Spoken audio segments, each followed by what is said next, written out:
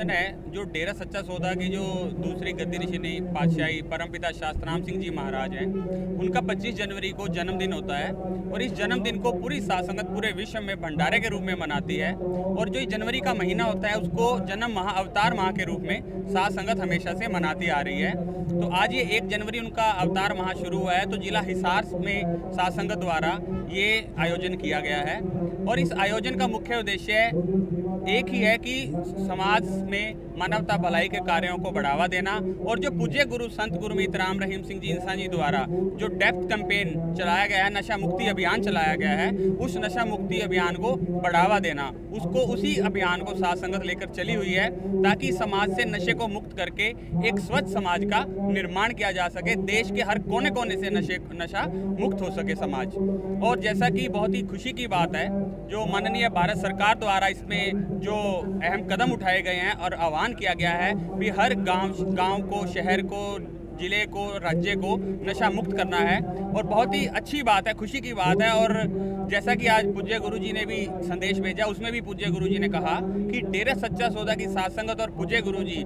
इस मुहिम में भारत सरकार के साथ हैं और हर सात संगत का बच्चा बच्चा इस अभियान में उनके साथ है और हर पूर्णतः प्रयास करेगा कि समाज को नशा मुक्त किया जा सके।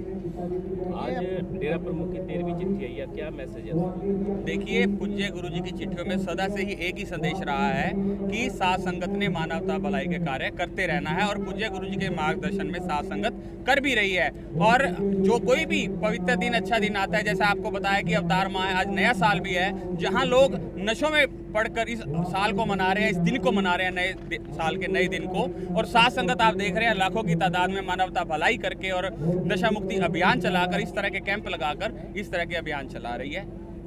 एक डेप्थ मुहिम चलाई गई है उसमें एक परफॉर्मा आया जिसमें सभी प्रेमियों का डाटा कलेक्ट किया जा रहा है। तो वो किस मकसद से किया जा रहा है? देखिए जो डाटा कलेक्ट किया जा रहा है इसकी मुझे अभी पूर्णतः जानकारी नहीं है या तो मैं जानकारी लेके आपको बताऊँगा इसकी मुझे अभी कोई जानकारी नहीं है। तो ये अभियान जो चलाया गया है, हिसार से स्टार्ट हुआ है या और ज़िले से स्टार्ट देखिए, डेरा सच्चा सौदा द्वारा ये अभियान जो नशा मुक्ति, नशा के विरुद्ध जो अभियान है, वो आज से नहीं चल रहा। जब से डेरा सच्चा सौदा की स्थापना हुई है, तब से ये अभियान चल रहा है। और पूज्य गुरु जी के मार्गदर्शन में छः करोड़ से ज़्यादा लोग अब तक नशा छोड़ चुके हैं। और पीछे भी जब पूज्य गुरु जी पैरोल पर आए थे यूपी में, जब भी लाखों लोगों ने नशा छोड़ा था और वहाँ पे पूज्य गुरु जी ने एक आह्वान किया था, एक कैंपेन चलाया था, उसको नाम दिया था, डेप्थ कैंपेन उसी को लेकर सात संगत आगे बढ़ी हुई है और जगह जगह पर पूरे विश्व में ये खाली हिसार में नहीं सिरसा में हर ज़िले वाइज स्टेट वाइज हर पूरे देश के कोने कोने में यहाँ तक कि विदेशों में भी इस अभियान को चलाया जा रहा है। हिसार जोन की बात की जाए तो कितने युवाओं को जो नशा करते हैं चिन्हित किया गया है? पहचान हुई है ऐसी अभी? देखिए आज भी आप देखेंगे तो बहुत से लोग यहाँ नशा बहुत से युवा भी नशा छोड़ने के लिए आज यहाँ आए हुए हैं। और जैसा कि पूज्य गुरु जी ने अपनी चिट्ठी के माध्यम से आज संदेश भी दिया है कि इस नाम चर्चा जो ये सात संघ द्वारा आयोजन किया जाता है नाम चर्चा तो इस नाम चर्चा में जो डेरा सच्चा सौदा का पवित्र नारा है और सर्व धर्म का नारा है, वो धन धन सदगुरु तेरा ही आसरा। उसका जाप अगर वो करेंगे, उस नारे को लगाकर, और जो तीन वचन डेरा सच्चा सौदा पूज्य गुरु जी द्वारा जो बताए गए हैं, जिसमें कि शराब नहीं पीना, अंडा, मांस नहीं खाना और पर स्त्री को लेकर है, अगर अपने से बड़ी है तो उसको अपनी माता के समान, बराबर की है तो अपनी बहन के समान और छोटी है तो उसको अपनी बेटी के समान समझना। इन तीन वचनों पे रहता हुआ जो धन धन सतगुरु तेरा ही आसरा, इसका भी जाप करेगा। तो उसका भी गुरु जी ने कहा है कि मालिक से दुआ करेंगे कि उसका भी नशा छूटेगा और इसको लेकर कैंप भी लगाए जा रहे हैं। और अगर कहीं मेडिकल ट्रीटमेंट करवाने की ज़रूरत पड़ती है तो सात संगत अपने पैसे से वो खर्चा भी करने को तैयार है और कर भी रही है और लाखों की तादाद में सात संगत इस तरह के कार्य कर रही है।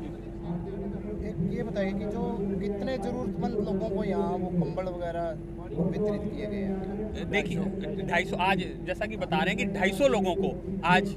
कंबल वगैरह और राशन वगैरह वितरित किया गया है और इस तरह के एक कार्य नहीं एक सौ तिरतालीस मानवता भलाई के कार्य सात संगत द्वारा किए जाते हैं। Thank you.